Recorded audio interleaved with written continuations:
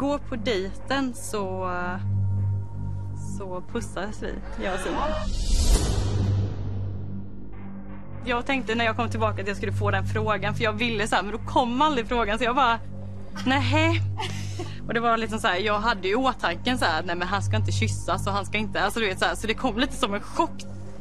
Tog han initiativ till kyssen? Ja, det gjorde han. För jag var inte alls med på det för jag hade ju verkligen i bakhuvudet att han kommer inte kyssas liksom. Så att, men eh, den kom. Jag tänkte typ att nu kommer de hata Nej. Men alla vet ju också vad de har gett sig in på. Är man med i leken får man leken tåla. Visst att det är en jättekonstig situation med alla känslor och alla, ja, det- det är ett harem som dejtar samma killar. Okej, men då vet jag lite vad jag har han och det säger mer om han än om mig. Att inte han höll sitt ord eh, till mig och eh, att han inte menade det han sa. Får ge en puss. Jag skulle jättegärna vilja ge dig en. Nej, jag får inte. Nej. Jag vill respektera alla andra också Ja. i början och verkligen bara Ja, ge tiden alla. innan jag, ja. Men det är, alltså, det är så jag- bra. Det, nej, ja, ja, men alltså 100 procent.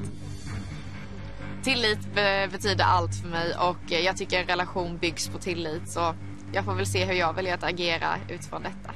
Och sen